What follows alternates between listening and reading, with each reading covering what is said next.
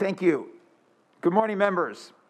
SB 68 is about reducing the barriers for people who are trying to help us achieve our climate goals by electrifying buildings and vehicles. Oftentimes, they face high costs and long delays. Contractors often have little experience, and folks end up doing costly panel upgrades that could have been avoided. SB 68 is about better information and better technology, and it'll make it easier for owners to electrify the energy use in their buildings, provide chargers for their vehicles, and support our state goals. I respectfully ask for your aye vote. Thank you, Senator Becker. Any discussion or debate on file item 102? Members, any discussion or debate? Secretary, please call the roll. Ayes 35, noes 1, measure passes